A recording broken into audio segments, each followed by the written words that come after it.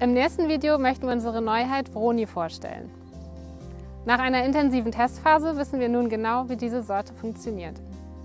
Unsere gewählte Produktionsweise bringt ein sehr homogenes Endprodukt ohne Vorblüher hervor. Mit einer Produktionszeit von 9 bis 10 Wochen vom Mini-Router bis zum Fertigprodukt handelt es sich um eine sehr schnelle Kultur. Vroni lässt sich sehr gut satzweise kultivieren, sodass der Gärtner perfekt alle zwei Wochen einen Satz topfen kann und dann ständig blühende Ware verfügbar hat. Die Sorte hat durch ihr gutes Wurzelbild eine sehr gute Trockenheitsverträglichkeit und das grüne Laub mit der silbernen Blüte stellt einen hübschen Kontrast dar. Zusätzlich blüht die Sorte ständig weiter und hat nicht nur eine Flashblüte. Des Weiteren benötigt diese natürlich kompakte Sorte keinerlei Hemmstoffeinsatz. Die Sorte hat besonders kurze Blütenstiele, was natürlich fürs Packen ein großer Vorteil ist, weil ein bis zwei Lagen mehr auf die Karre drauf passen.